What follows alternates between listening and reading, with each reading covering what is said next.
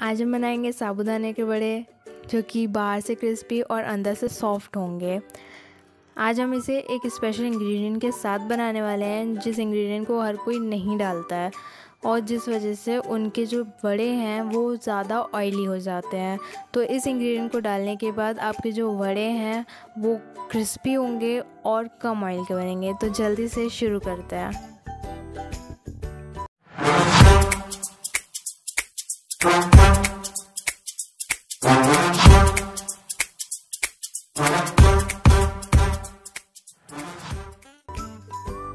तो चलिए इंग्रेडिएंट्स देख लेते हैं।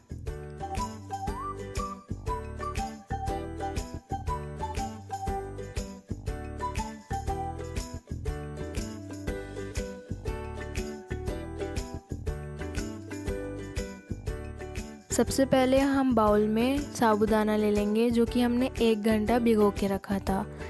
ये हमने मीडियम साइज़ के साबुदाने लिए हैं, आप चाहें तो छोटे साइज़ के भी ले सकते हैं।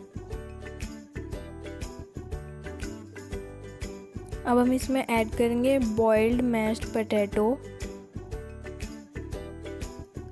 अगर बनाते वक्त आपको आपका जो मिक्सचर है वो ड्राई लगे तो आप इसमें और भी आलू ऐड कर सकते हैं।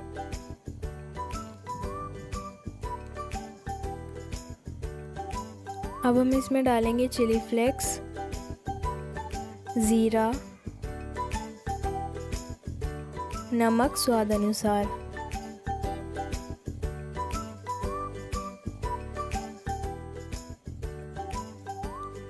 अब हम इसमें ऐड करेंगे कटी हुई प्याज, हरी मिर्च और हरा धनिया। अब हम इसमें ऐड करेंगे रोस्टेड पीनट्स जो कि हमने मिक्सी में दरदरा कर लिया था। अब हमारा चावल आटा जो कि हमारा स्पेशल इंग्रेडिएंट है।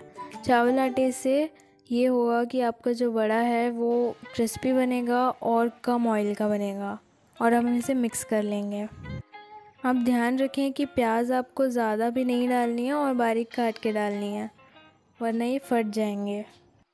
इसे आपको अच्छी तरीके से मैश करते हुए मिक्स करना है।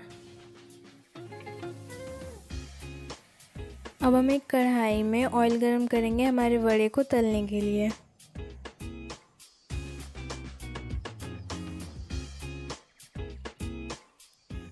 अब हम वड़े बना लेंगे। बड़े बनाते वक्त आप अपने हाथों में ऑयल लगा सकते हैं ताकि ये आपके हाथों में चिपके ना। आप चाहें तो कोई सा भी शेप बना सकते हैं।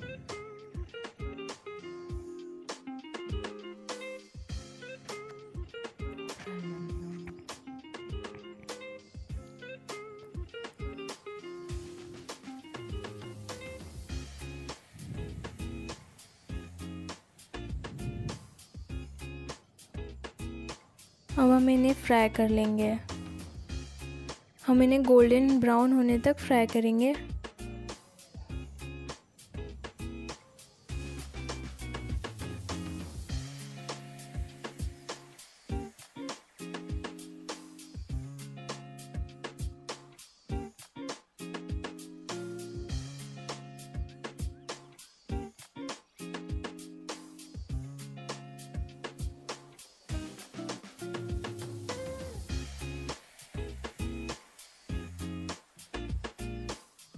हमारे बड़े फ्राई हो चुके हैं तो अब हम इन्हें निकाल लेंगे और सर्व करेंगे।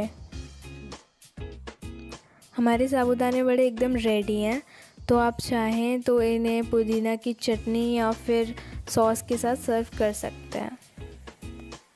आप इन्हें ज़रूर ट्राई करिए, क्योंकि ये मानसून के टाइम में चाय के साथ बहुत लजीज लगते हैं।